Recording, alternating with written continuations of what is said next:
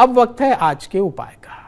यदि जीवन में दुख बहुत ज़्यादा हो तो ये उपाय करिए। प्रतिदिन भगवान शिव को जल चढ़ाएँ, एक रोटी पक्षियों को खिलाएँ, और शनिवार के दिन काली चीटियों को आटे में चीनी मिलाकर खिलाएँ। मंत्र एक नोट कर लीजिए, नमः शिवाय। इस मंत्र का रुद्राक्ष की माला से प्रतिदिन 108 बार जाप करें। ये जो उपाय बताए हैं, ये करना शुरू करिए।